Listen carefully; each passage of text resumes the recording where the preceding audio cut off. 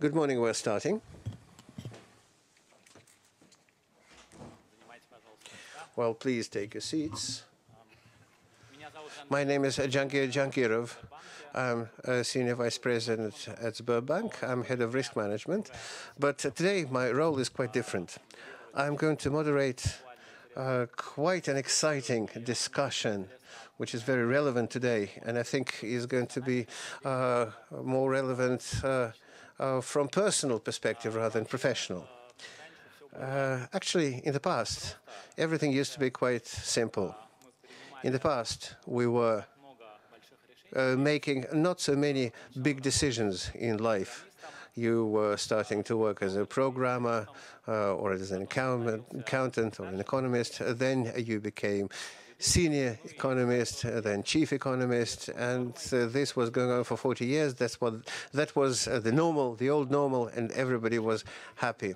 Today, there have become much more big decision moments in your life. And one of the big decisions that we have to make is about the profession, what we're going to do. And even uh, professions uh, are coming up uh, every year uh, new professions. Everybody knows about bloggers, video bloggers, and I recently learned about a profession of miners in computer games, that people who mine uh, for resources that you can uh, exchange for uh, real money. And talking about video games, uh, there's cybersport. There's it's an area where professional cyber sports people are earning uh, comparable uh, amounts uh, to uh, professional sports people in classic sports. And you can't ignore that, of course. it's all about a very serious change. All this competition in sports and, sound, and cyber sport attracts uh, huge audiences. Uh, sports people get prepared for that. And I mean, we can go way beyond this list. All, all these changes make us continuously think, uh, work on ourselves, what to do next. Uh, when I was graduating the university, I uh, was specializing in mathematics, economics, finance. I didn't expect this, that when you uh, get uh, to uh, the, uh, when you get a job, you'll always have to continue to learn. But the most important thing is that the skills, what's called soft skills, turned out to be uh, an even more needed thing uh, than uh, the hard skills. How to build a relation with colleagues, how to present your idea, how you should select the right people uh, to uh, join your team when hiring. So all these questions uh, that we are going to discuss today. And the good news is that uh, we are not going to struggle alone. Uh, we're going to have three professionals uh, with us uh, who are dealing with these questions uh, professionally, uh, three researchers uh, who know about all these areas better than anyone else. so the rules are like this. We're going to have three presentations, about 20 minutes each. After which, I'll ask a number of questions, and if we've got some time left, uh, uh, people from uh, the audience will also be able to ask their questions. I'd like to address my first question to Steven. Steven is a professor in neurosciences and strategic leadership uh, he's a professor uh, at uh, the Antwerp Business School and also EADA Business School. He's also a consultant for a lot of companies, a consultant at Neuro Training Lab, and also professor in Melexis.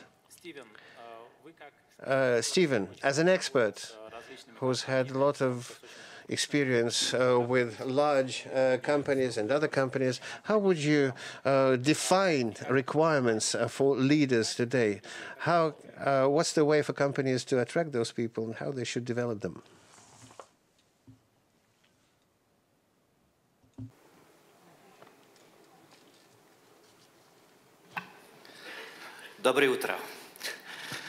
Good morning. Um, times uh, are changing right? Um, and also the way of attracting talent. I think nowadays uh, young people are not just looking for a job, they're looking for a sense of meaning. They're looking for a sense of purpose. They're looking for a project uh, they can realize their dreams in. Uh, it goes further than just uh, doing a job. It's about realizing their lives through their work. Um, just a little fact, this is a uh, result from the Boston uh, Consulting Group in collaboration with the European um, uh, Association of Personnel Managers. They found that for young people, and especially in Eastern Europe, um, corporate social responsibility uh, coincides with work-life harmony. How do you explain that? Right? How, how can you connect those two ideas? Well, the only way to understand it is that if people feel they work for a company that has not just a bottom line, but has a social responsibility, they understand that through their work, they can realize uh, a social responsibility. Through their work, they can contribute to a better society. So that's a big change. What does that mean? That companies now have to go further than just offering a job. They need to offer a project. They need to offer a sense of purpose to young people.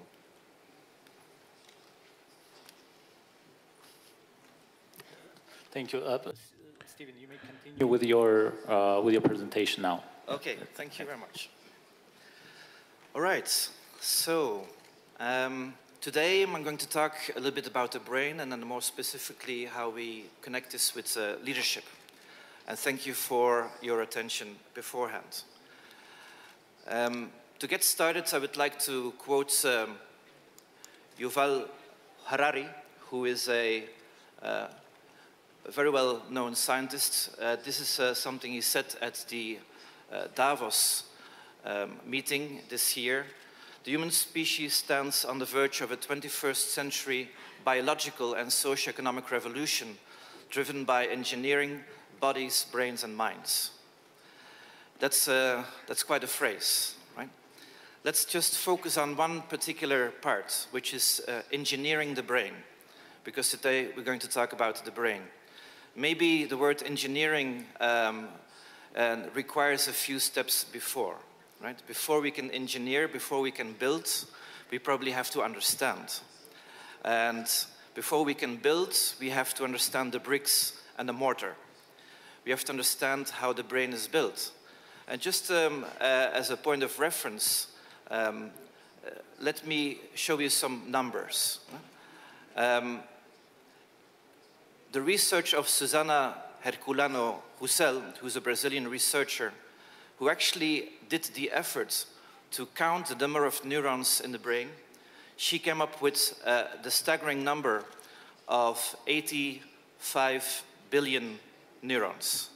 That's uh, 85 and I'm looking at my notes here, don't make any mistakes, that's 86, sorry, with, yes, with nine zeros, right? That's the number of neurons. Just as a, as a comparison, there are 250 billion stars in the galaxy. So we're getting very close. But then if we combine this, if we multiply this number by the number of synapses, which is the interconnections between neurons, um, which can vary between 1,000 up to 300,000 in the cerebellum, right? But say on average maybe 7,000 or very conservatively speaking 1,000, we come to a number of 86 trillion neural connections. Um, if we divide this by the number of stars in the galaxy, we have about 344 galaxies in our brain. You have literally like many, many galaxies between your two ears. Right? So in order to, uh, to grasp this complexity, right, we understand that we will need international collaboration, uh, a lot of um, smart minds working together to decodify this wonderful piece of uh, equipment we have between our two ears. Um, this is where my fascination came from. But now let's uh, turn to the organizations and Uh, that's sort of the topic also of this, um, of this GAIDAR conference. The organiza organizations that are first to develop the capacity to collect, store, or analyze, or apply, or enrich in some way data, right, to improve performance and well-being will be the strategic leaders of the future. Um, there is no way of escaping. Each and every single organization should be interested in how to get the best out of our brains. Our societies are evolving towards knowledge societies, service societies, and knowledge cannot be disconnected from the individual. So if we take care of the person, we will take care of the knowledge. If we take care of the person, we will take care of the service they can provide. What else do we know? Well, in the fourth wave, this is the, the wave we're um, living now, I think we will see in the near future the massive real-time measurement of biopsychological indicators. Right? Imagine you're wearing glasses, and in these glasses there's technology incorporated that measures the dilatation of your pupil. And will actually register right, at any point in time which draws your attention. Maybe you will be wearing smart clothing, and inside of your clothing there are sensors included that allow you uh, to measure your biometrical activity at any point in time and maybe give you warnings about whether you're too stressed, yeah? you have too much stress and you have to cool down a little bit before making a decision. Right? Um, of course, if you have all this data coming in in real time, we will need big data and artificial intelligence in order to sift through all this data and come up with patterns. Uh, this artificial intelligence will help us to decodify and to write algorithms to understand better and to prevent health issues, uh, to improve our performance. Uh, and that's the whole idea. Um, how quickly will companies move to actually work in this way? This is uh, to be seen, but it is clear that there's no way to avoid it. Let me talk a little bit about the Neurotraining Lab. This is the methodology um, I've developed with my team to actually put this uh, into practice. Right? Just to give you an idea, imagine you're participating in a program, in a developmental program. The night before or the nights before you receive a case, you need to read a story, and now you have to prepare for it, not just to discuss it in the classroom, but actually to execute it. And you have to intermediate in a conflict. You have to show your leadership in a particular context. And on the other side of a one-way window, we will be observing you.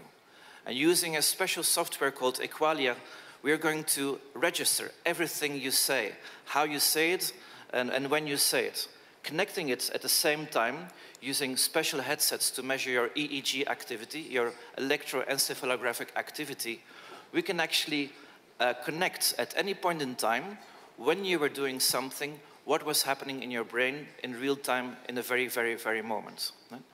This allows us to give a much more detailed type of feedback to people. Right? The feedback that really works, maybe the only feedback that works, is contingent and task-based. What does that mean? Right after doing the exercise, we give feedback to leaders so they learn about what they've done well and learn about what they can do better than the next time.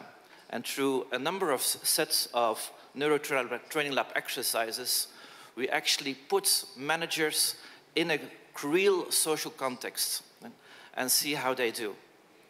I personally believe that as management schools, we have failed. We have failed to develop leadership. You cannot develop leadership by talking about it in a classroom. You develop leadership by doing, by hitting your head against the wall, and feeling the blood, right? And correcting and doing it again until you get it all right. This is the basic uh, research model we use in the neurotraining lab.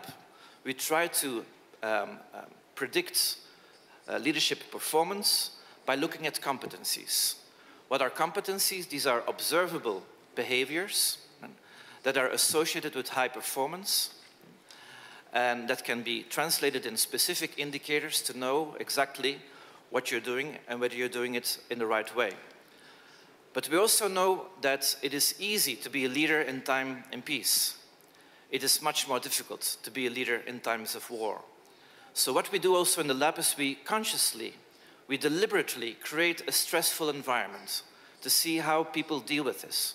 We work with actors that will respond in an emotional way uh, to see how leaders deal with these emotions. And while we do this, right, we look under the surface and we look more specifically at the activity of the prefrontal cortex, the seat of our personality, the seat also of our deliberate conscious thoughts. Right? And we look at to what extent are leaders actually self-regulating? To what extent are they focused? Are they showing attention in different moments in time? And very important, we will come back to uh, I come to back to this in a moment, we will also measure their levels of metacognition. What is metacognition? It's the cognition about cognition. Right? It's the capacity to look at yourself from a third party perspective. Uh, while you're having a conversation with a person, it's like you're stepping outside of the situation and look at yourself. We found in our neurotraining lab, and this is a main finding, that metacognition is one of the best predictors of leadership.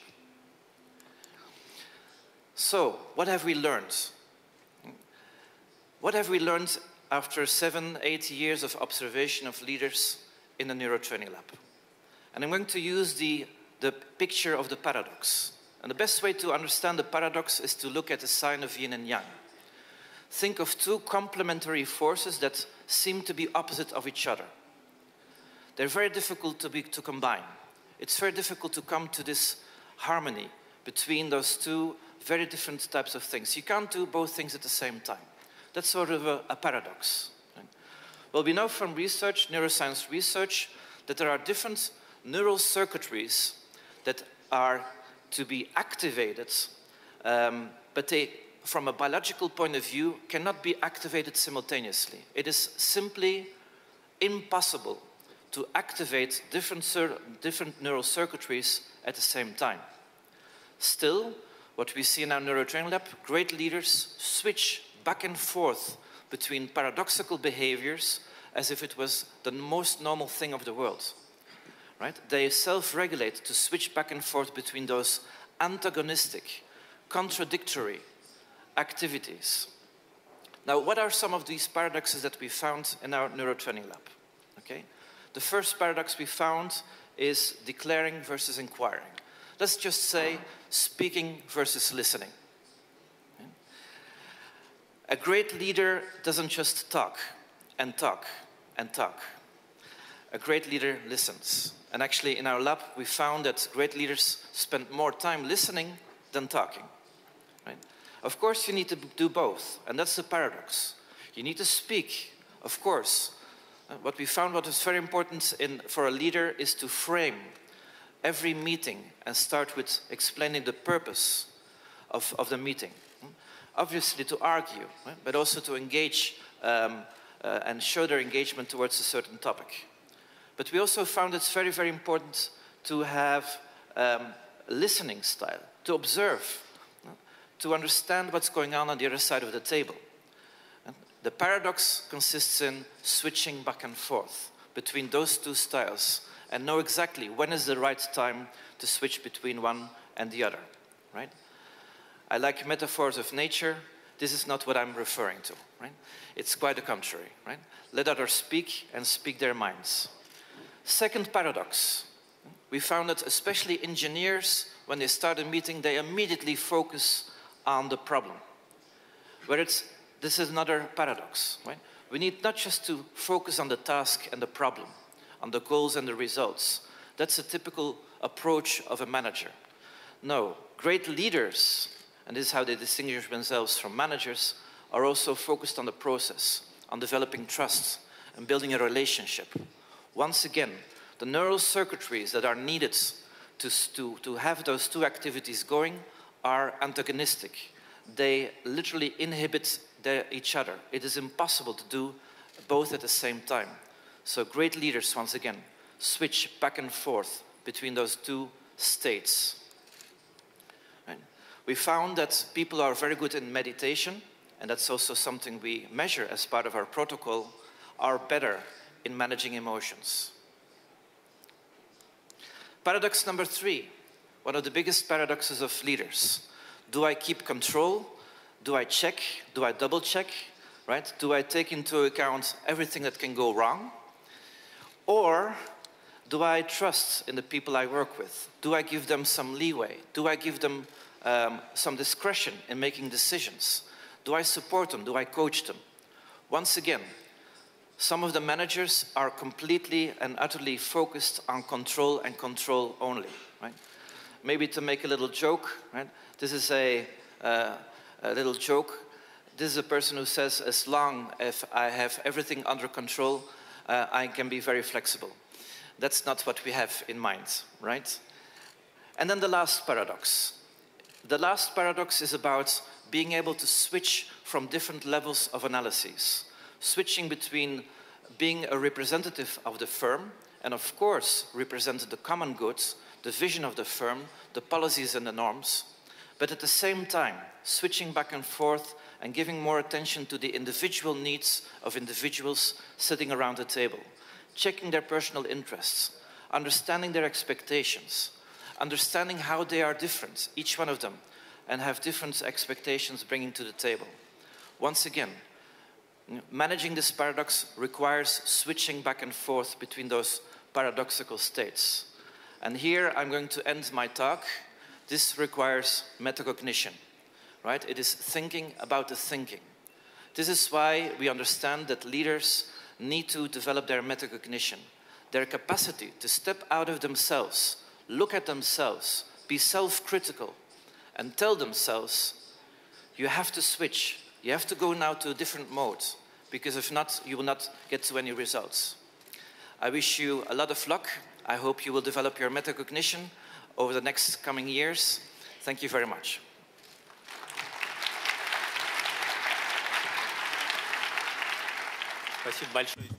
Thank you so much, Steven.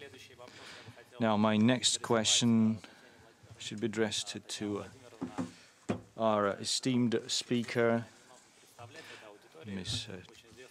Chernigovskaya. She's uh, a doctor, she holds a doctorate degree in biology. Steven spoke about uh, leadership uh, skills and uh, the development of these skills it takes uh, from you to get out of comfort zone. And we're talking about higher pace of development of the world. We're talking about new technology. What about us as biological beings? Are we able, are we capable of that? Can our brain, can our brain withstand that pressure? Okay, thank you. Now I'll respond to all of your questions. Now, yesterday I did an interview for a Kultura TV channel, and some of the cameramen said, uh, so whispered to each other, oh, Chernigovskaya will now start to uh, uh, in, uh, will start to instill fears in all of us. We'll tell horror stories. So I'm not going to tell horror stories, but what I'm showing you is, uh, is, is a creature I call Homo confusus. A person doesn't know what to do. You're at a loss, you're puzzled, you're perplexed.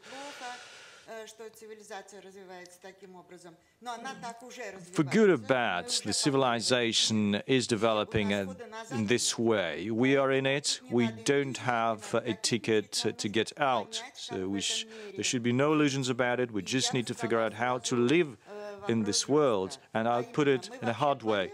Are we planning to continue to live on this planet, or are we giving up? Because if we are giving up, uh, giving way to the digital world where there's nothing to talk about. We can go out for a coffee break straight away. If we do have plans for our own human life, then we need to think how we can live in this human life, on this human world. We are as we are because we have the brain that we have. Well, again, we didn't talk earlier on how we did our presentations, but you can see that a lot of things that coincide. We live in a world of information, run and ruled by information, and humans uh, differ from other uh, from other species. We use uh, a system of symbols. We live in a world that we've uh, created uh, on our own. We can use signs, symbols, uh, that we talk about language, music, math. We are because we have a brain like this that can play with such complex uh, things. We do have a most complicated neural network. Uh, the number of uh, synaptic uh, knots uh, where some parts of the brain connect to other parts of the brain, well, they're to the tune of quadrillion. I could spend some time on giving you some more figures, but I don't currently have it. But if we start to count the number of those connections, so it could be 10 and then 85 uh, zeros after it. So it's not just more than stars in the planet, it's even more than the number of uh, the particles on the planet, in the world, in the universe. So there's another maybe question of who belongs to who. Our brain belongs to us or we belong to the brain, but that's a separate discussion. Now, talking of uh, the digital world, we're going to repeat, although we cannot repeat because we don't know how the brain operates. But they say our brain is a computer. Here are the alg algorithm, here are this uh, zero, one, you know. But is it just algorithm as part of our brain? We often know that it's not just the algorithm. It could be a computer, but not one. I mean, in terms of the type. Part of the brain is algorithm, and you have these mechanical cogwheels, uh, bolts and stuff things. But another part is analog things. We can talk about quantum computers. So quantum computer could be a better metaphor for our brain. So Korsakov is here for a reason. Before, longer before the Turing, he started to do intellectual machines. So the forefather of intellectual, of uh, artificial intelligence uh, is Korsakov. Turing came later, and then AlphaGo, this uh, this horrible program. We also need to think of other areas. As I said, there are analog things. Even big scientists, I'm not even talking about poets. Take Einstein. Intuition is a sacred gift, and your intelligence is a humble servant. I've read uh, a lot of works by Einstein, I don't know why, but it's so fascinating. He says, a new idea comes suddenly in a rather intuitive way, but intuition is nothing but the outcome of earlier intellectual experience. I believe in intuition and inspiration, for knowledge is limited. And again, you get your knowledge from inspiration and not because of calculations. So what's gonna be next? You got Charlie, Chaplin, uh, two characters. So what's the world ahead of us? Where are we going? Why does clicker doesn't work? Why doesn't clicker work? It all started earlier. 1996, Kasparov was beaten by uh, Deep Blue, and it was a shock. The, be the best brain on the planet was humiliated by some piece of metal. But when people woke up, they realized it's just a different story. It was a bit dishonest because the computer doesn't have the nerves, it uh, has uh, boundless memory, it doesn't uh, get tired. And again, this particular software was uh, adjusted and adapted for this particular uh, for this particular grandmaster. Then Kramnik lost to Deep Fritz. And okay, we realize we cannot compete uh, with these uh, metal things in terms of calculation. But there are games like Go, and I said, okay, Go might be beaten, but what about poker? I thought that poker is all about bluff. Is what about your poker face, your duck glasses? So it's all about humans. And okay, AlphaGo beat Go champion four to one. DeepMind then created this particular software, AlphaGo. So without any initial knowledge, they just give you the rules and they learn. It learns to play, and it can beat any other software or any being. So I've asked them, how do they do it? And again, it actually plays with itself. So it's like a clone. It creates a clone, and it plays a million, a million rounds. I mean, you cannot play a million rounds. Uh, and then I was beaten. Artificial intelligence Libratus uh, won 1.8 million uh, in poker. I don't know how they did it. But, you know, it has touched me in a way. I mean, I've been moved by that uh, somehow. So we are now living in quite a different world. It's fluid, it's transparent and not stable. It's uh, extra rapid, it's hybrid, uh, it's insulating. Everything's been shaken. I've got people who do posts uh, on uh, social media for me, but when you uh, when you're on Facebook, for example, you tend to think that who's on the next uh, uh, side of the screen is uh, a human being too.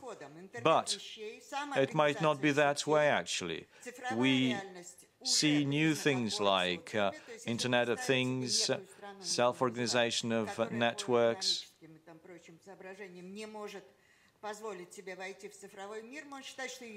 I mean, if, uh, if a country cannot enter the digital world, it means the country does not exist. They could do handicrafts, but they're not part of the global economy. And there's growing distrust to information. I've been thinking hard about it. You know, information now is now treated just like gossip was treated 30 years ago. You know, people say some things, but should I trust this information? No. So currently we have this distrust towards uh, big, uh, sort you know, authoritative sources of information. And I often ask que a question to my friends. And it's a broader question about the digital world. We've got Skolkovo, we've got Silicon Valley, and they keep telling, okay, we're going to figure it out. We do have Da Vinci, we have do other robots. Now, here's a question to all of you. Well, if something happened and you're being told Da Vinci will do a surgery like no other, what are you going to do? I'm going to tell you what I'm going to do. I will start getting feedback. I will get gossip. I will ask all of my friends, those who might know, those who are good in diagnostics. A good specialist in diagnostics would not tell you how they do these diagnostics. They just see it. They just see it. They cannot explain. It's not because they they don't want to tell you, but it's just because they cannot tell you. It's intuition. It has to do with any data mining specialist. And those who can explain, well, we don't need that pe those people because all of that knowledge is already in textbooks. So what are our anxiety, anxiety all about? and you've got a uh, syndrome of a delayed life. You live like uh, currently you just have a draft life, And even children are brought up in a way you can do this and that, and when you start to have a real life, then you'll be able to do it. No, no way. Children start alive when they are a fetus. You cannot keep a person for 20 years uh, somewhere, telling them then big life would come somewhere. And uh, we sometimes also face a situation uh, when a civilization doesn't know what to do with uh, it, all of its uh, well-being and propriety, like take ancient Rome. Now, there's another area. When uh, everyone says that there'll be robots that will replace us, uh, what will we do? What will we do except for hard labor? And everyone starts saying, okay, we'll have more creativity. So do you expect people to start writing poems and playing music? No, the opposite will happen. So this Homo confusus, it doesn't, he doesn't have a clue where he is. Because he's on the tracks, reading a newspaper. He doesn't have a, an idea of uh, a, the danger we are in. The decision is has to be made here and now. So we have Niels Bohr and Einstein. And Confucius also applies to science. So what did Niels Bohr say? Physics is not about how the world is, it is about how we can say about the world. And that's the Nobel laureate. If we had a housewife, a coach potato, well, no one would, well, no one would care, but that's the major physicist. Everything what we call real is made of things that cannot be regarded as real. Again, we're looking at uh, we're looking ahead to, to, the quantum world. So if it cannot be regarded as real, where we are. So here's the table, here's the rostrum, here's the mic, but what's inside? Do we have what, what else do we? What, what else? What, what do we have there?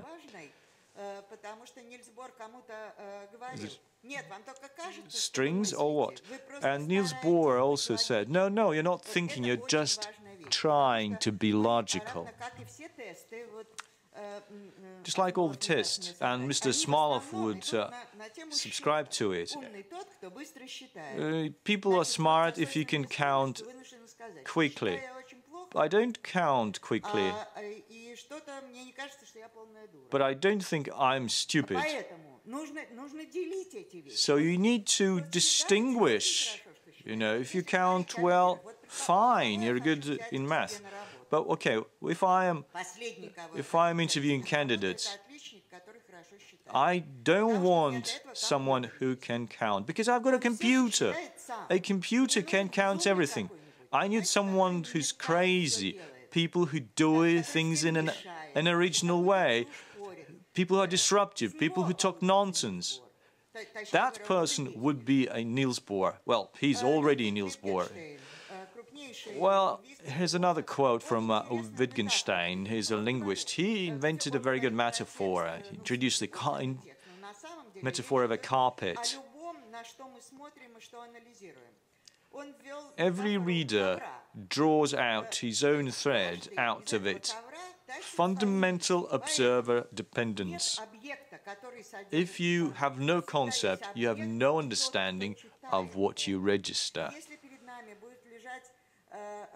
If you have a, uh, I don't know, some old manuscript, but if you don't have a, a person who can read it, then this manuscript is just a physical object.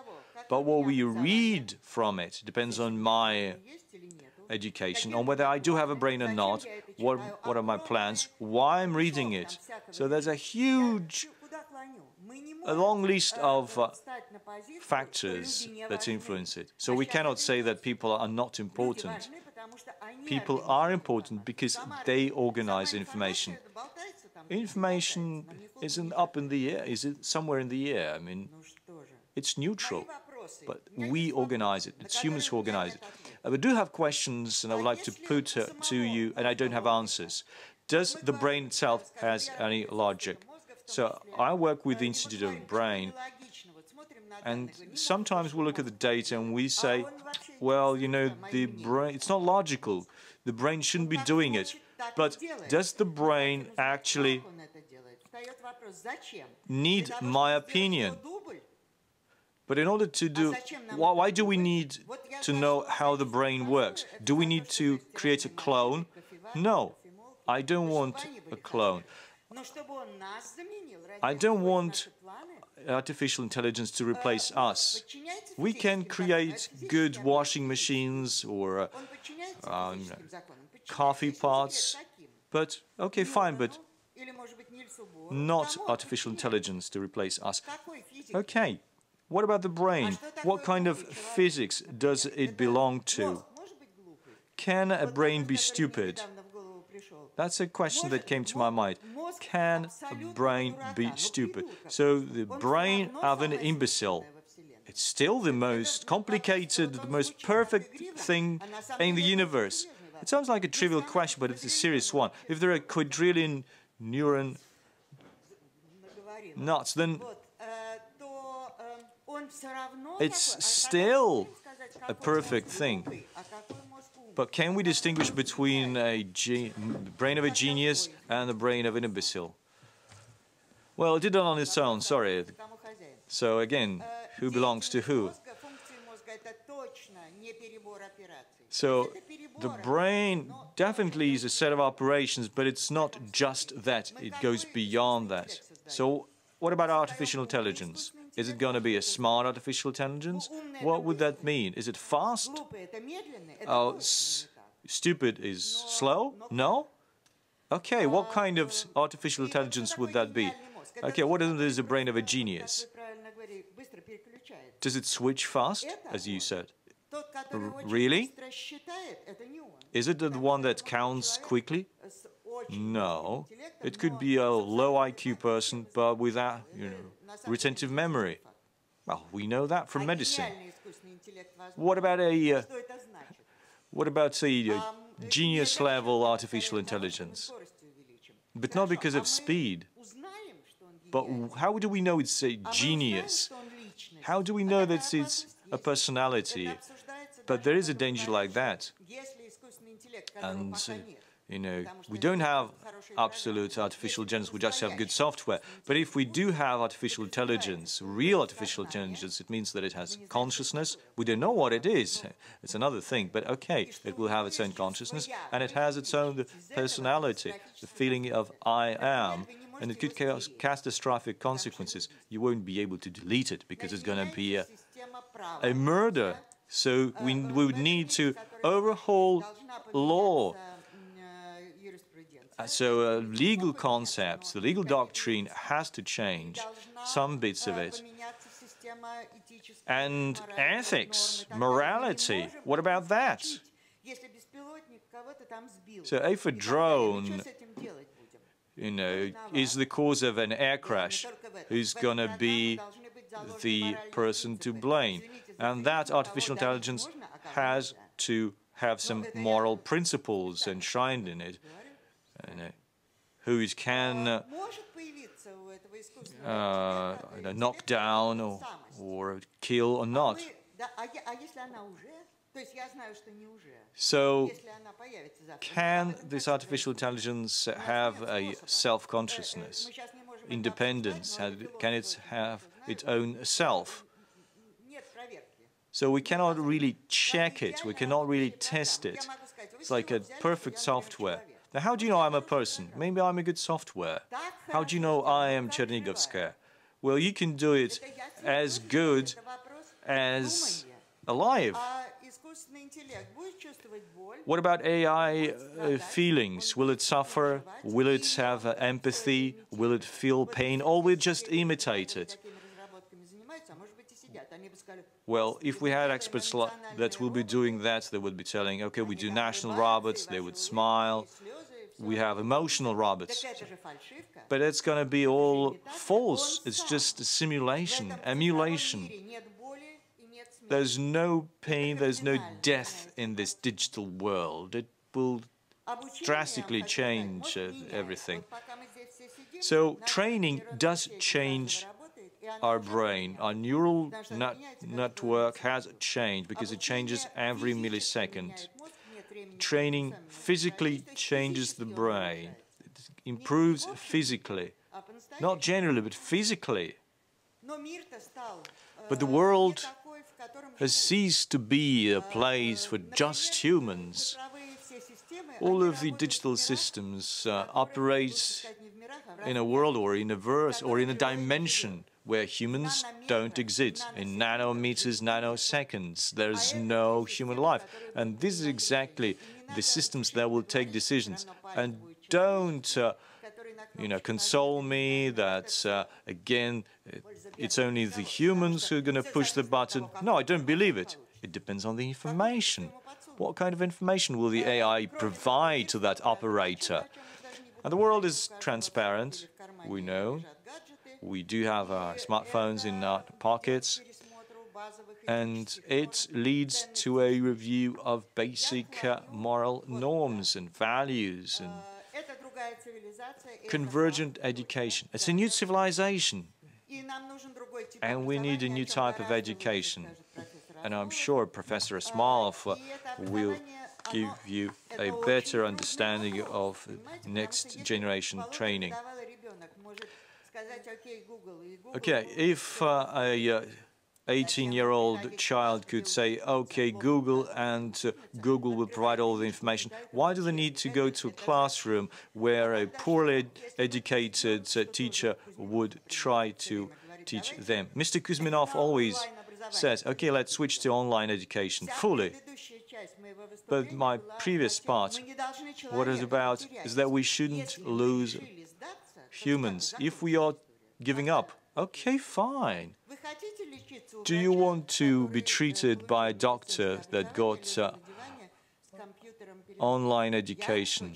I don't want such a doctor to treat me. I don't want a pilot to uh, navigate uh, the, uh, the skies uh, on the plane where I'm flying. We need to preserve the best of humans, the best of human in us. Everything boils down to the fact whether you can uh, have a good relationship with your family, with your children, with society, with the community. How do you able to work under pressure? How do you how are you able to maintain sanity? We cannot let our children down. Ch our children should know what to do in this forest, in this wild, wild forest.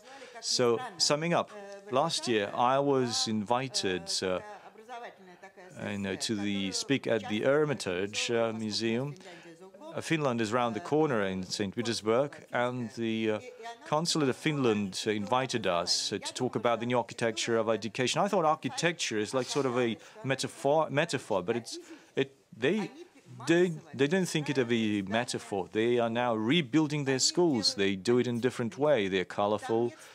They don't have any. Uh, it's all fluid. Uh, rooms uh, are not solid. So children can study there, they can study at home, they sit in one room, they sit in another room, they're taught by one teacher and then by another. It's good, they are ready for change. Okay, talking of the leader, the leader should not be afraid, the leader should ignore advice. No one's doing it. Exactly, no one's doing it. That's why you should do it. Or be quieter. No, just tell everyone to F and then three dots off. Okay, you need to run a risk. You need to be responsible to run a risk for the entire company. Otherwise, you're going to fail. All of the other game, all the other plays have been played. Thank you for your patience. Thank you very much, Tatiana Vladimirovna.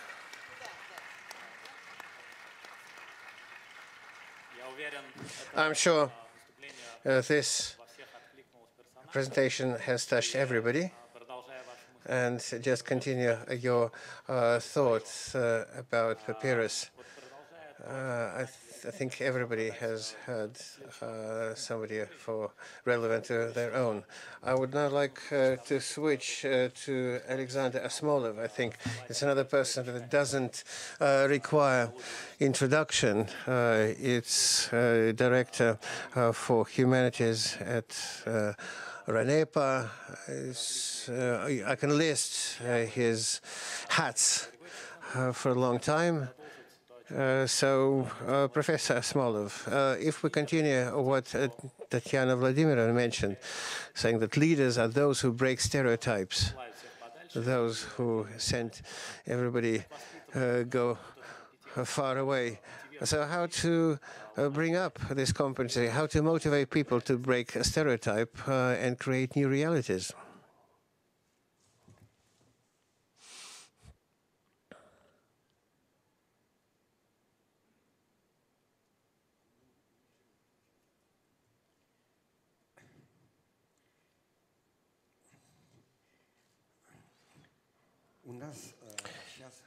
Uh, right in front of our eyes. Uh, an extraordinary process is happening.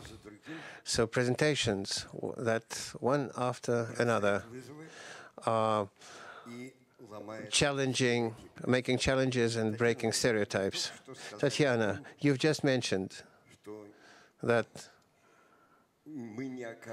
we are not uh, going to become swine. You were risking, you were taking a risk of saying that uh, at the year of pig. That's why we're all leaders here. I understand uh, it's not a very proper or politically correct statement, but uh, it can actually change us somehow. But at the same time, I'll say that even though we haven't agreed on that, uh, but I'd like uh, to bring the audience's attention uh, to several things happening with us.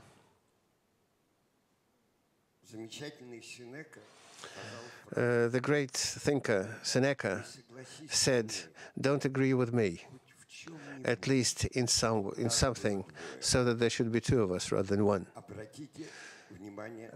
Pay attention at this phrase. I am overcoming this uh, phrase. Overcoming this phrase, I start uh, with voicing my agreement. I agree with Steven uh, in that uh, in, in what he said about the uniqueness of the brain and the capabilities that metacognition knows. And saying this, I'm uh, uh, th throwing a challenge to the masters of neurolinguistic programming, something that you mentioned. Uh, as to Tatiana Vladimirovna, it's difficult for me uh, not to agree with her, because when you love someone, you feel uh, that, I mean, you no longer have an AI, artificial intelligence.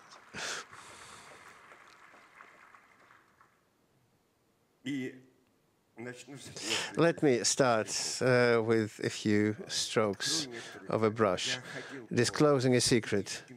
I was attending strategic sessions of the Gaidar Forum, and uh, I was uh, doing a bit of diagnostics while doing that. And I keep, oh, well, while doing these diagnostics, I was looking at different statements at different symposia. I'm not going to list them all. But uh, there's a whole range of subjects, of topics, and statements that I heard that uh, I that brought me uh, to certain ideas. Uh, statement number one: wherever you go, everybody is forecasting, is predicting. In actual fact, uh, the Gaidar Forum came up as a unique uh, competition of Cassandras. And in this sense, uh, remember the Russian uh, songwriter and help me. Cassandra, how did it go? A crazy girl. I see Troya going uh, to dust. And forecasters, just as predictors, have always been brought to fire in every century. Yes, indeed, it's very difficult to predict. As one of the Nobel laureates said, uh, one thing that's especially difficult to predict is the future. And at the same time, in the flow, the stream of these uh, predictions, I've heard several lines, several ideas that we need to understand. Uh, they carry different names. Uh, I uh, the most caution I uh, profess is to adaptive typologies, because those who are coming up with typologies uh, are killing uh, individuality. The master of typology Hippocrates, I'm not uh, going uh, to try and diagnose you who are sanguine, who are choleric out of you, but today, at our day and age, new typologies come up and they wonder about uh, symposia. In one of the symposium, uh, someone says uh, the humanity day splits in three types. First, cyber optimists. Second, cyber pessimists. And third, style uh, is often uh, mentioned. I'm talking about uh, new uh, types, cyber pragmatists. Uh, one other category uh, that uh, wonders about our, uh, our minds. Technophobes and technophiles.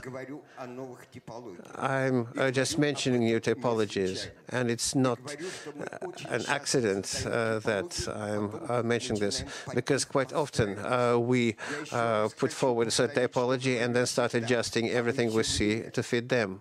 I'm just repeating what I always say. Uh, Steven uh, mentioned that, uh, and uh, Tatiana mentioned that. Uh, what was the key word? Paradox. Where there's a paradox, where uh, there's uh, a carnival, or where there's a Charlie Chaplin that was mentioned in one of the slides, colleagues. I am speaking today not as a cyber pessimist and not even as a cyber pragmatist. Uh, may I give you a name, give you a tag? Don't you object?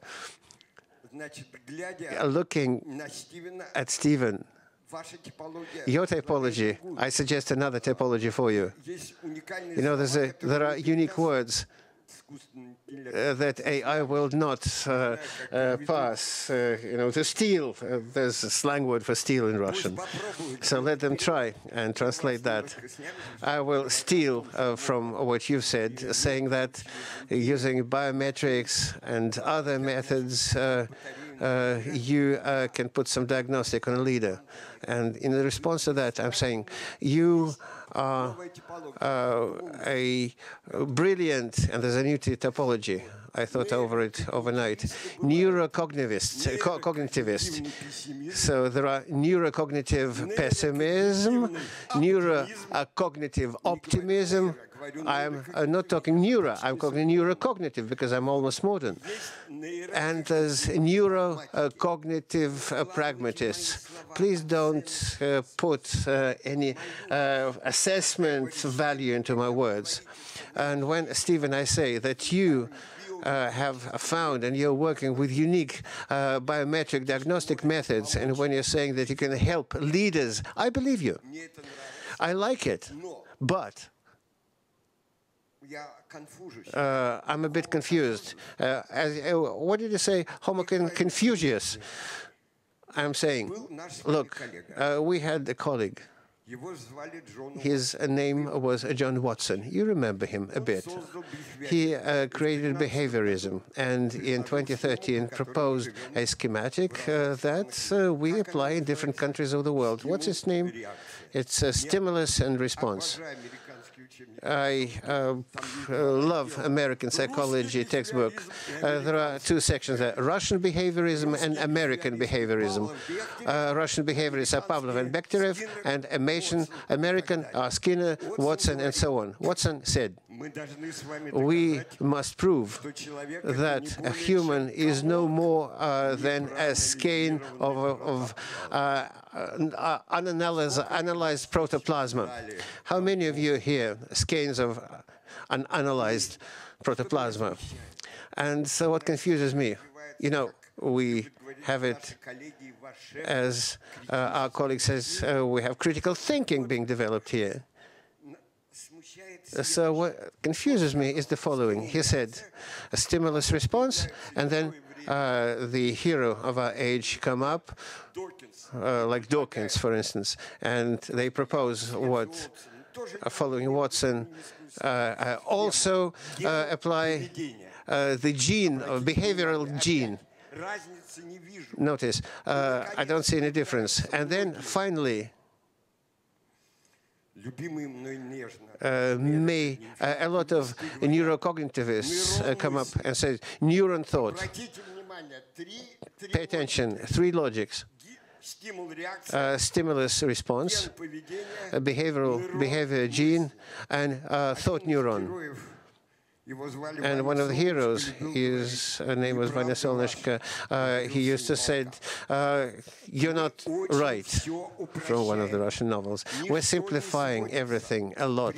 Nothing reduces either uh, to stimulus response schemes where our brain uh, was uh, proudly uh, called the black box. I don't call you black box. I'll call you white mountains. no, and it's not uh, your uh, sand uh, deserts have become uh, white uh, lands, but all of these has not been noticed, and we're still guessing whether it's this or that. we are still trying to climb up. let's do it in our lifetime. Alpha rhythm. you, you won't be able to uh, see uh, what you want uh, by going, making a shortcut. Can I make a small experiment? I'm always asking. Because and thank you for your consent. Because psychologists, as opposed to politicians, make experiments with people only with people's consent.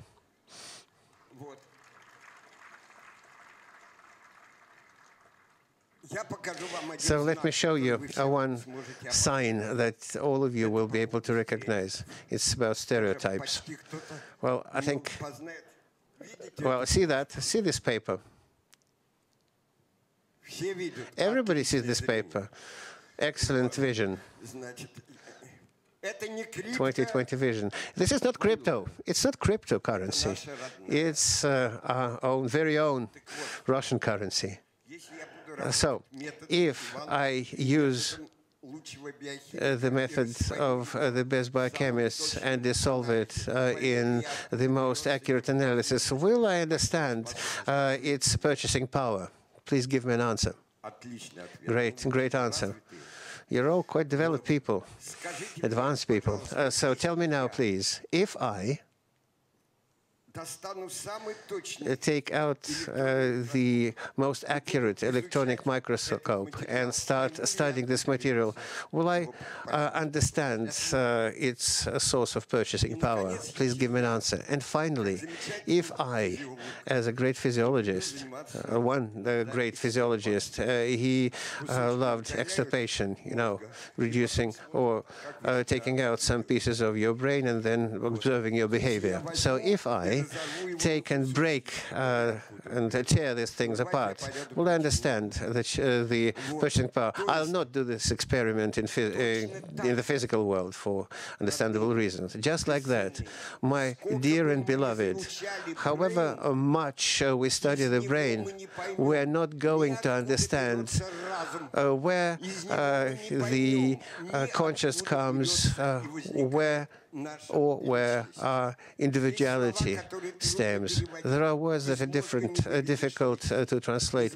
You can't derive personality from brain. You can't uh, derive consciousness uh, from brain. I asked my Georgian colleague how to translate to the Russian uh, the word gamarjoba. There's such a word in the Georgian language, and he looked at me skeptically, and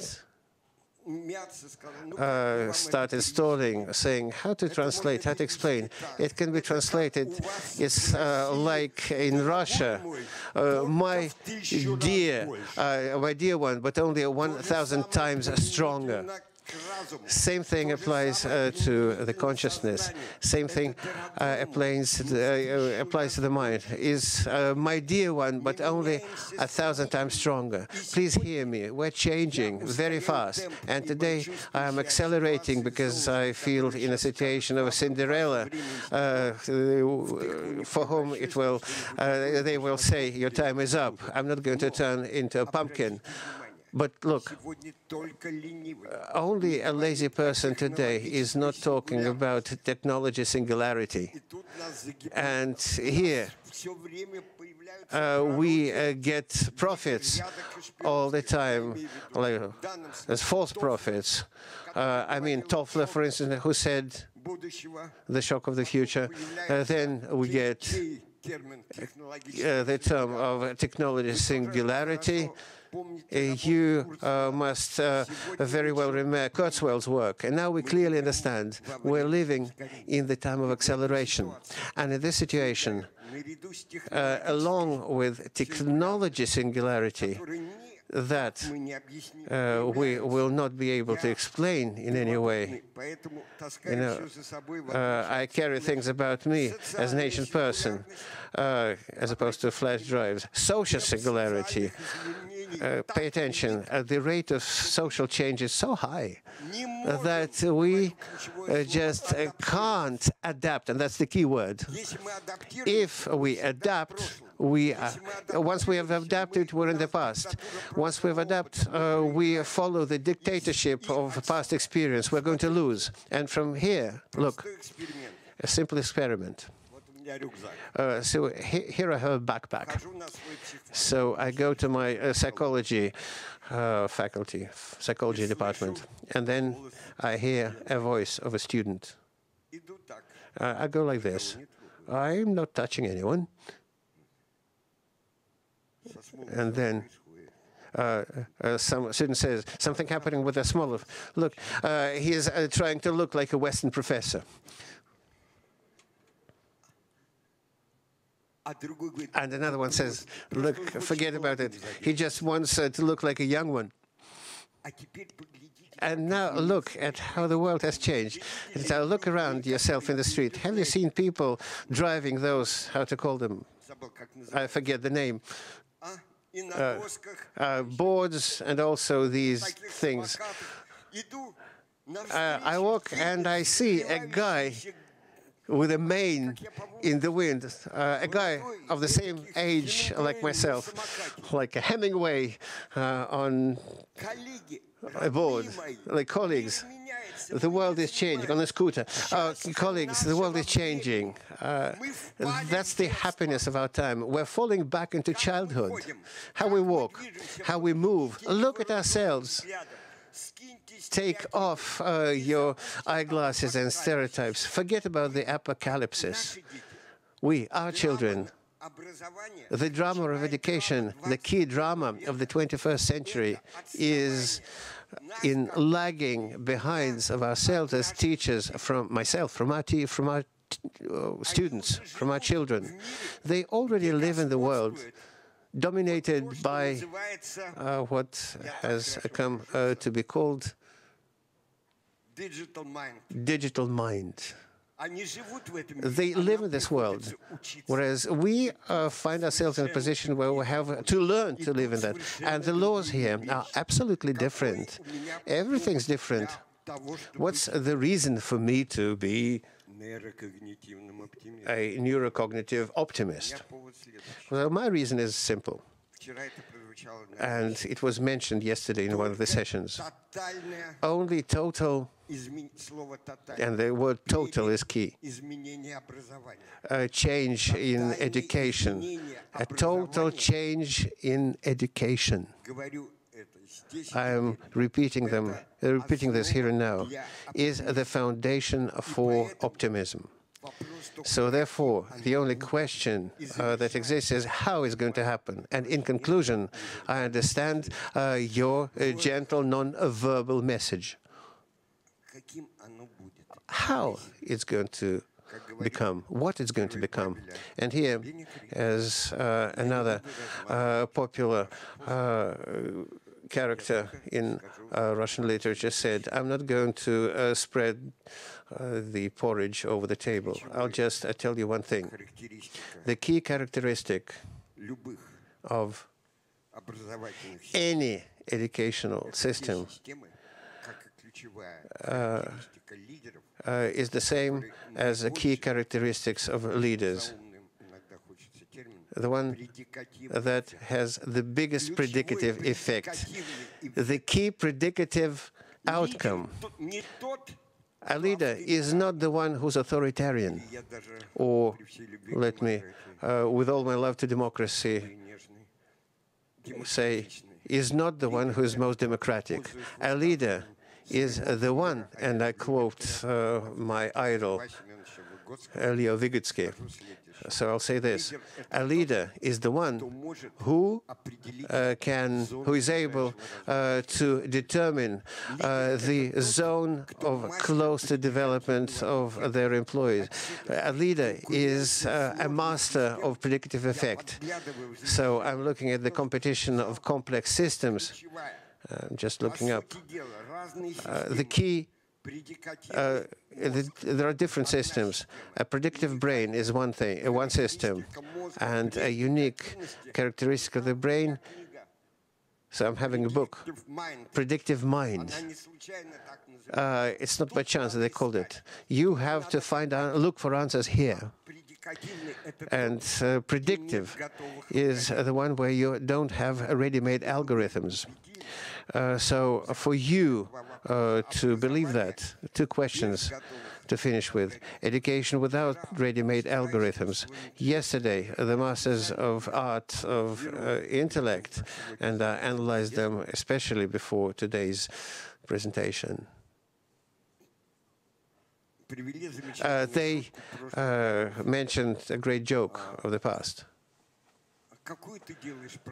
what program are you building? They asked uh, a coder. I don't know, he said. Once it starts working, then I'll see what it does. So, what kind of education are you building? Today's education uh, should be a school of uncertainty. Today's education uh, should be a school of uh, behavior in uncertain situation, in the situation of uncertainty. Uh, when at Physics and Technology University a few years ago they were passing a m- math exam, uh, what happened is nobody was able to solve a problem at an exam, at the exam. Why? because there was an error when composing uh, uh, the uh, problem. It would seem that uh, the one who says uh, there's a condition missing and therefore there's no condition would win, but nothing happened because in the school, back at school, we keep setting problems where everything is defined, bringing about stereotypes. The best uh, diagnostic of our education. Uh, so our education is not uh, actually training, but pre-adaptation. And what is pre-adaptation?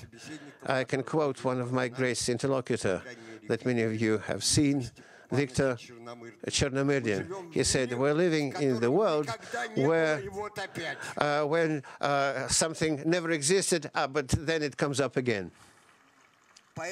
So the most important thing is uh, to be a, a via for our children, not to, uh, not being afraid uh, to ask questions, uh, not to be afraid asking questions, to laugh, not to be afraid of the carnival, not to be afraid of facing non-adaptive tasks. what would make a, a human different from an animal had they only been content to have what's necessary? salary and nothing on top of that. And in conclusion, one small question, one more question that I always ask is just like a small test. Diagnostic of education is diagnostic of uh, test tolerance uh, for uh, uncertainty. My favorite word, tolerance, uh, for which uh, uh, some of people in the internet called me tolerist. So I'm looking at this audience and I'm asking a question. Please tell me, are there people in the audience, and I'm looking at you as well, who oh, were asked a question some time ago, some time in the past? What uh, is there more for you there than anybody else? Please raise your hand.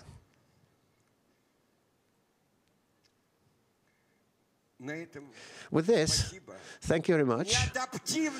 Uh, my dear non adaptive people, so you don't have to fear uh, artificial intelligence.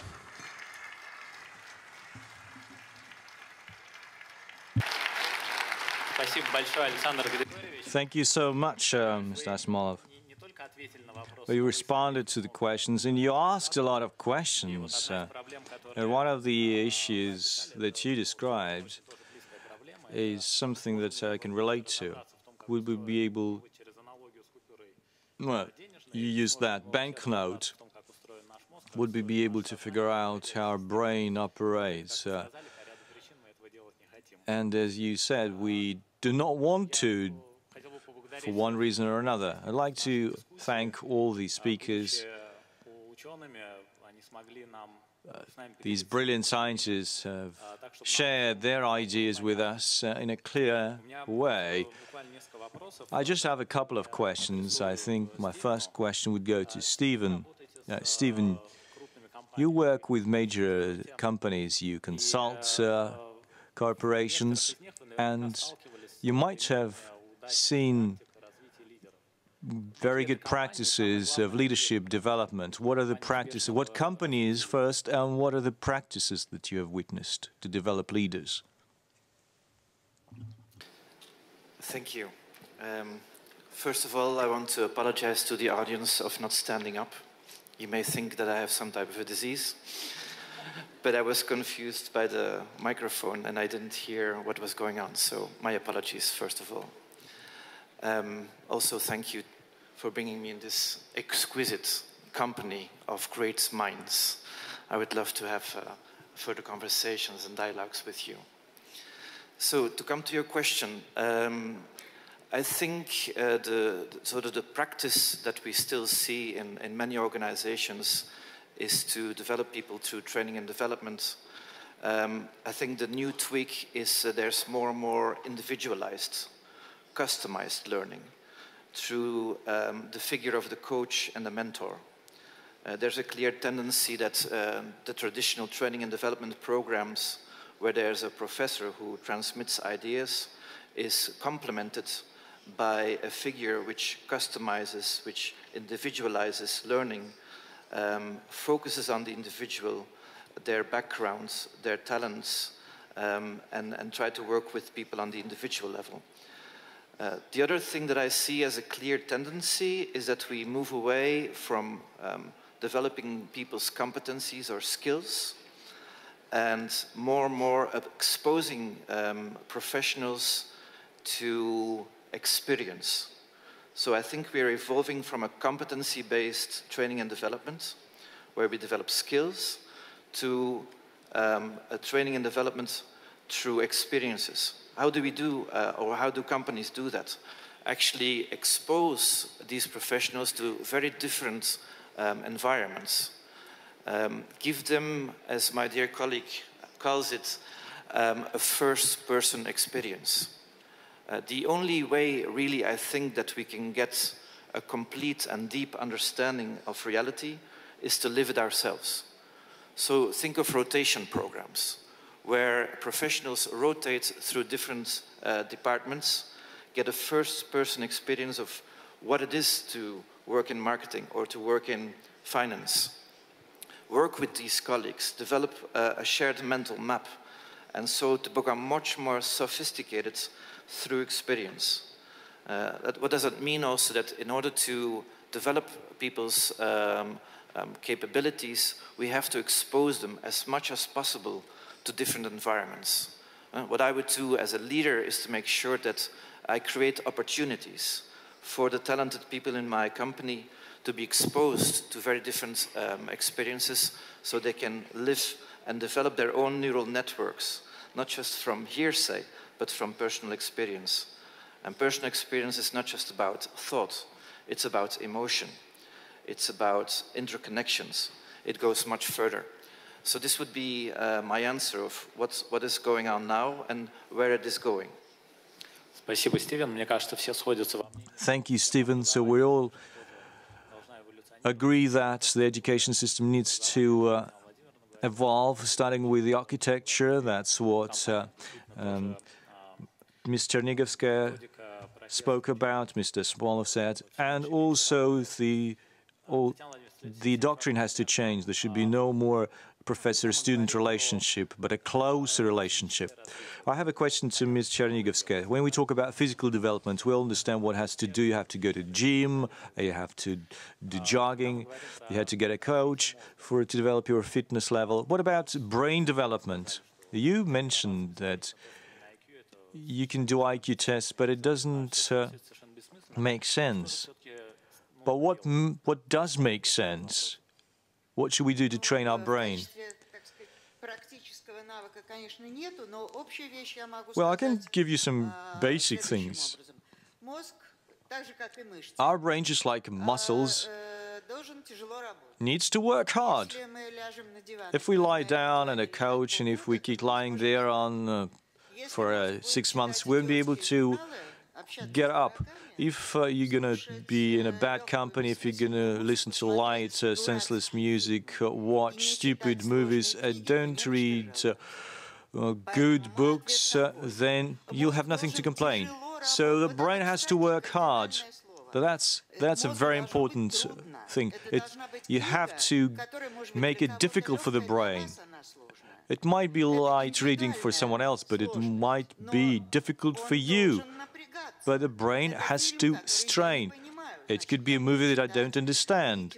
It means that I'm going to listen to some critical articles, or reviews. If I'm gonna, if I'm in a theater, I have to think about this uh, particular play.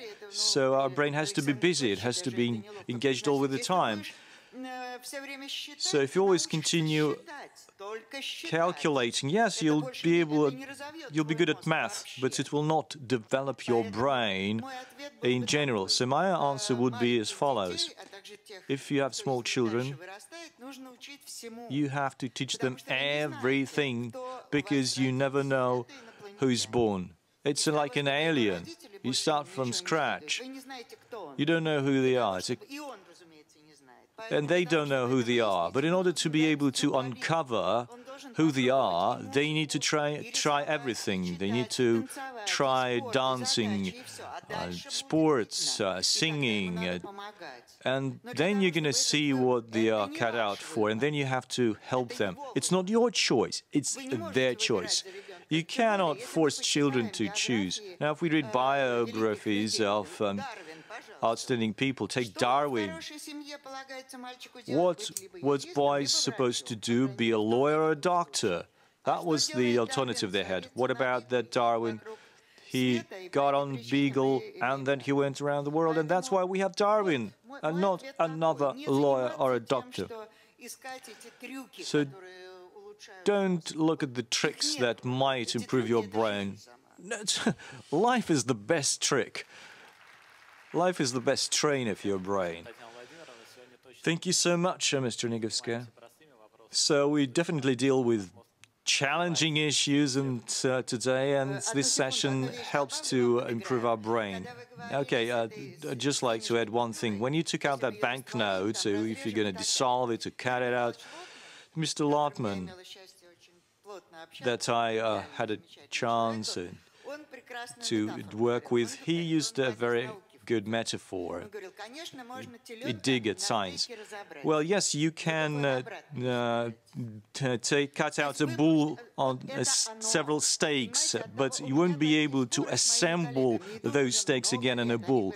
So I've got these debates with my colleagues uh, for a number of years. They say, again, we're going to have a hardware that would be able to show us every neuron. Well, I don't want to see every neuron. There are like 100 billions. What are you going to do with the info on the, each neuron? It won't uh, be able to respond to any question except for some specific questions on how a neuron is, uh, what it consists of. But these are quite different answers. Our questions cannot be answered by that. Well, they might find a gene that is, in charge of intention, or a gene that's in charge of singing, a gene that's in charge of love. Well, I found an excellent article. Where is orgasm in your brain? And there are colorful pictures, but these are different pictures, you know?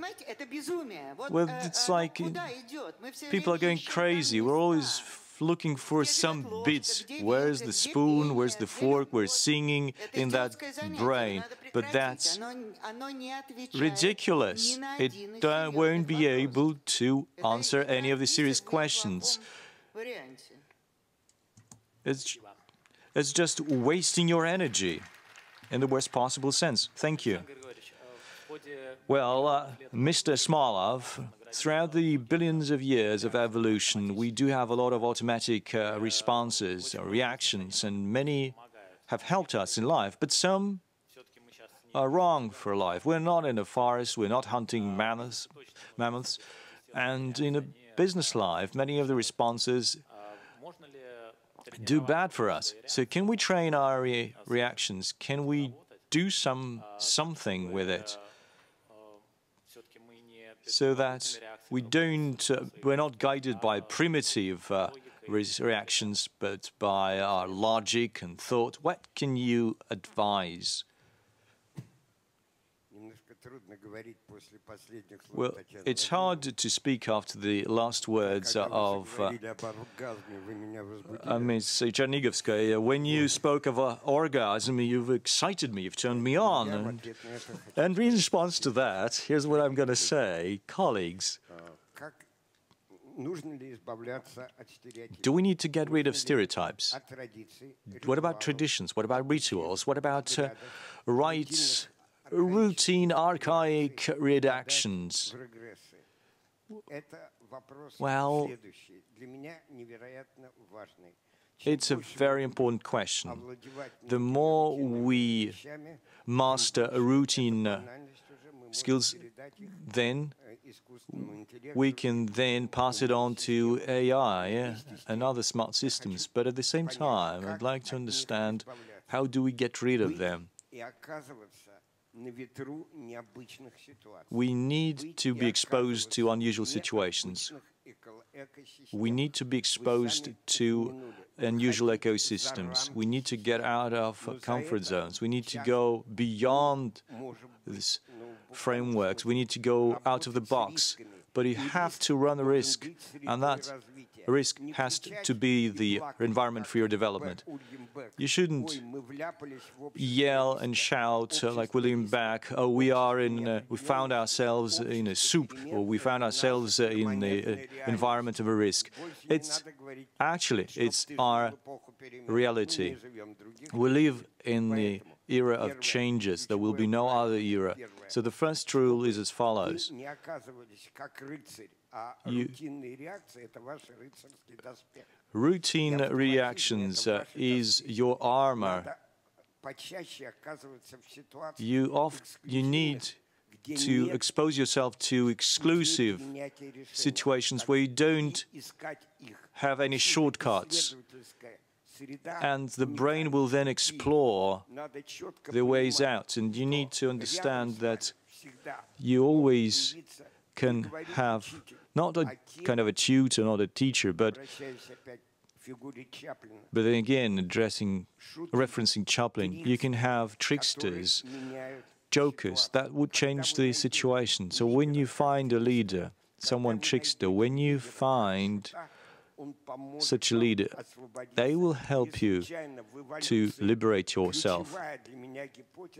In evolution, the key concept, is the Goldschmidt, Goldschmidt concept, it's about amoebas and it's the uh, hopeful monsters. So if we are not afraid to be hopeful monsters and as long as we still support this variety, diversity, as long as we are, we are able to find new niches, then this is the way forward.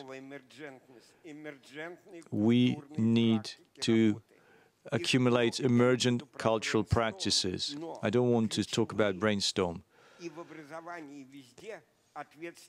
But here's the main answer. You need to read complicated sci-fi, Neil Gaiman gave the following description. So who are the best leaders in Google, at Google, who are the best researchers at Google and Microsoft? Uh, it turned out these are the children who, before 15, 17 years of age, loved reading serious pre-adaptive sci-fi. And that has yielded unique results. Read sci-fi, don't afraid to be hobbits, or, or Harry Potter, and you'll be fine. You'll succeed. Thank you. Do we have time for one or two questions? Если есть, то давайте вот буквально два вопроса. Там Okay. One or two questions. You, I see some of the hands going up in the air. Uh, my name is Dina Radchenko. I'm a cognitive pessimist. So F Freud was once asked, like on the eve of World War One, a French cultural figure like Romain Rolland wrote to him, "Why do we have the war? You are a specialist of the souls." And he said, "Civilization is all about machines, means of production, but psychology doesn't evolve. You're still guided by two instincts. You need to uh, self-preservation and multiplication. Well, it's interesting, exciting to study your brain, axons, and synapses, but maybe we should also focus on instincts, because we'll be ruined by greediness and aggression, and not by robots. Well, afraid is a friend to me, but uh, truth is uh, more important. The latest studies that were done several years ago yielded unexpected results. Among the fears that were diagnosed, the previously this fear of death used to be the most important fear. The biggest phobia in the 18th century was the phobia of losing the meaning of life. So the latest studies indicate that if you boil down your individuality to your personality to death or hedonistic, primitive reactions that Freud talked about, it's narrowing our consciousness too much. I don't say the Freud is wrong, but the window of opportunity has changed for us, and the reality and those re reducing our psyches to the forces described by Freud is presenting our personalities in too much a flat way. So here's my response. I'm a neurocognitive optimist. Here's my response. Freud is not a friend to me. I hate Freud. I think he actually uh, he actually confused the entire civilization in the 20th century. Now, if you talk to, if you, if I could cite Mr. Bekhterev, uh, several years before Freud, he described basically the same. But okay, that's just an aside. I did an interview yesterday, and there's a crazy idea that's buzzing the world. Are we going to live like for 80 plus years? Can we live in, uh, until we are 130 years of age? Here's my response to that. You might remember there was a wonderful book, A Person in the Search for a Meaning of Life. We, so if you don't have any meaning in life, but you're always revived and you're like a quash living there, like a vegetable, and to the heart of yourself, to the heart of your community, to your family, then why do you live? And definitely it's not much. It's not only the instinct. We definitely are guided by instinct. Yeah, I'm not an idiot. Yeah, we do have this instinct, but there's much more. You cannot boil it down to these primitive things, rudimentary things. This is, I have bad attitude to Freud. Well, very brief comment. We just need to have fun. The doctor is asked by a patient, it's a joke, will I live? And the doctor says, what's the point?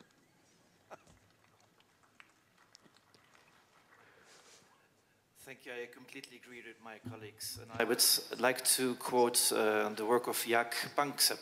Jaak Panksepp is an affective neuroscientist, and he has done a, a tremendous job in mapping the neural circuitries and the associated neurotransmitters, and really reconstructing all the emotions that a human being and all mammals actually have.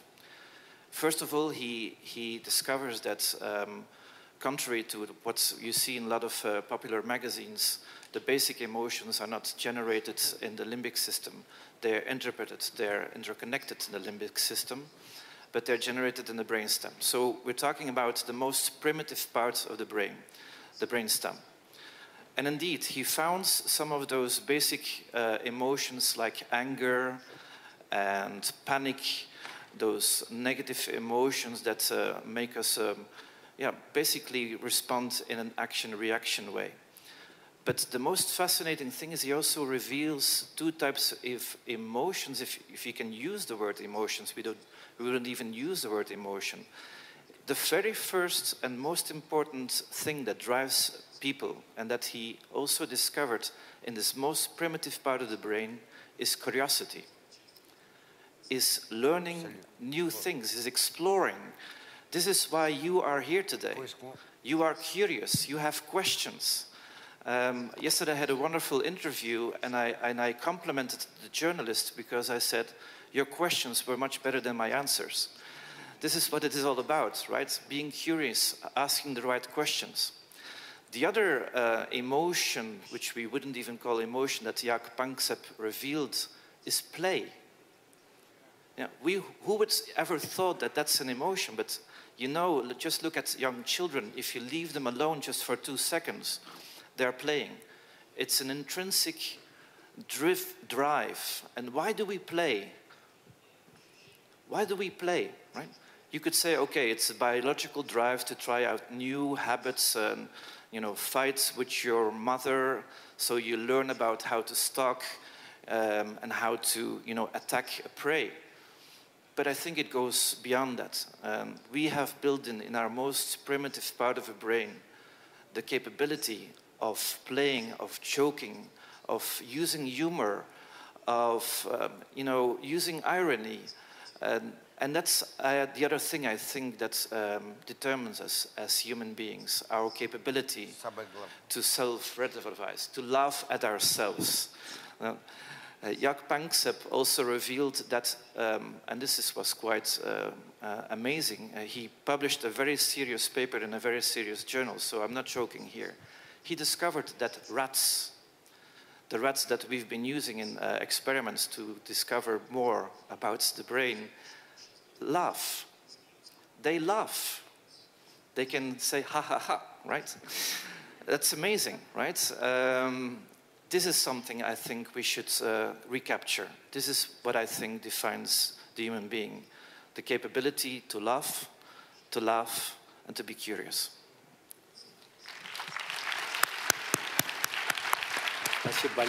Thank you so much. One more question. Just one more question. Thank you so much. I'd like to thank the speakers. I'm as a, a documentary director. It looked like a two-hour movie, and your fantasy was bursting, and I wish that movie didn't end. So uh, yesterday I left with a question, what do I want most? So here's my question. Do you feel that in our memory we only limit we, we store only some limited information on the cause and consequences. And is the brain more of a subject or an object in terms of uh, perception, memory, and retention of some of those uh, relationship between causes and uh, and consequences. I'm a philosopher, I'm a young scientist, and you define the context where science matters. Well, Mr. Asmolov uh, wants me to uh, say, to speak first. Ladies first, he waved to me. So, we always talk about consciousness. So, what consciousness is? Now, you in referencing your question, what logic is. Now, there's a specialist, Sir Roger Penrose. A couple of years ago, he started studying consciousness. He came to a workshop uh, that I was doing. And he says that consciousness is a phenomenon that doesn't fit the physical picture of the world, the physical framework of the world. Yeah, it's like it's pointless cutting the banknote and trying to figure out what's inside. So we have two ways out of it. Option number one is trying to put consciousness into that physical world. And option two is horrible change the physical picture of the world. But no one in their my sober minds would be able to do it. He says that consciousness is quantum leaps. Again, I don't know whether it's for good and bad. It just means that in quantum world, logic non-exists. Causality it doesn't exist okay, we're not, we don't know whether we're trained or whether it exists. If you talk about children, they have different logic. All, all children's psychology is different. Water do doesn't flow because the tap is open. No, it's the four. It's the tap is opened because the water flows. You know, the their entire logic is upside down. So it's quite a complicated question that you asked. Well, that's a very complicated question. I agree. I follow your logic. I have a formula. Your your question is so good that I don't want to spoil it with my answer. Okay, very briefly, jokes aside. Uh, first, I'm really serious. All these studies that we see today revealed that rational thinking is a limited concept. It's just one of the paths of our brain. There are other logics, other ways that our brain uses, our paths that our brain uses. Not only children, us too, we too often use other ways of thinking, like myths, poetic thinking. Children have so many opportunities, so much uncertainty about our children's future. What is our future path? It's a history of uh, the alternatives that were denied by us. So Nick Enneman and other analysts say that if we only analyze the trends, that's bad. It's bad if we are slaves of our previous experience. So myths and poets, myths and poetic thinking, that's the way forward, I guess. Art. The more just tricksters and jesters we have, the better for our children. Something extraordinary, some fairy tales.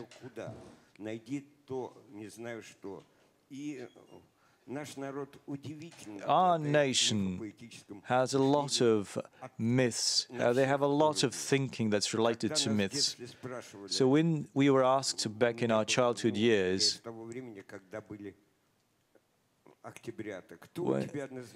so, uh, you know, you remember we had Lenin face on, on our label when we were part of the youth communist movement. And when we asked, who is that? We always told them, grandfather Lenin. So, so that's the way we continue to live with those uh, gray-haired uh, Lenins on our labels. Um.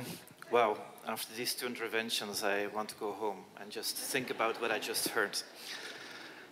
Um, first of all, I think memories are tricky. We know from research that memories are constructed, reconstructed, are socially constructed. Um, just as a piece of proof, um, right after uh, the attacks on the Twin Towers in the United States, people were interviewed right after this uh, attack. Those interviews were recorded on tape.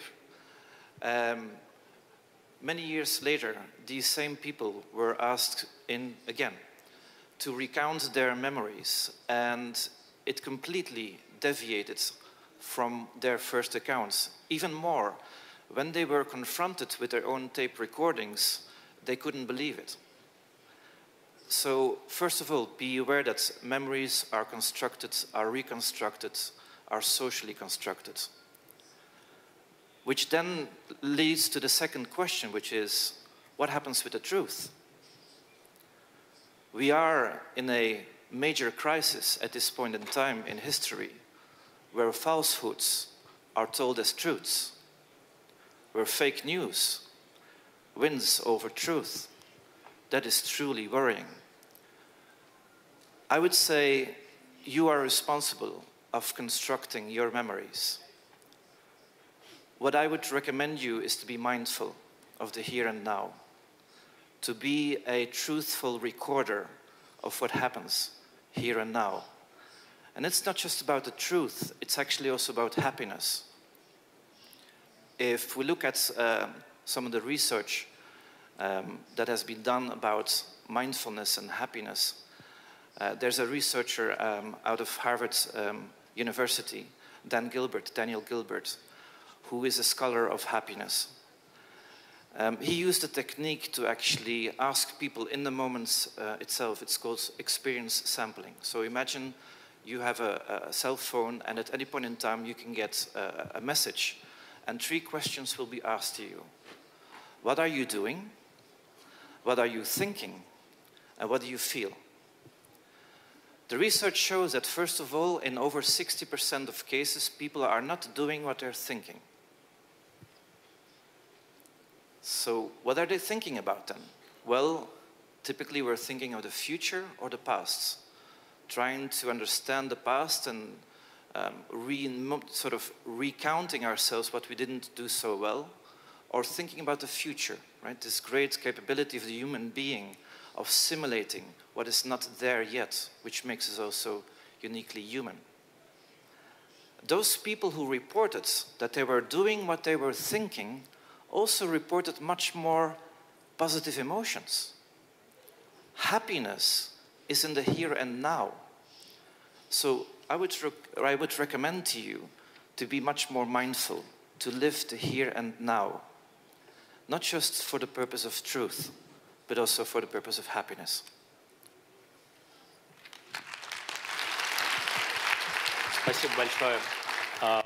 Thank you so much, colleagues.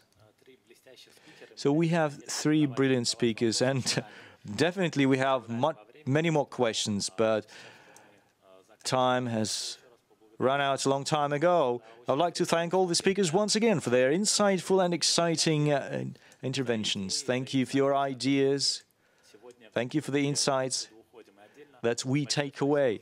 And thank you for the humor that you've uh, used to spice up all of the ideas. Thank you.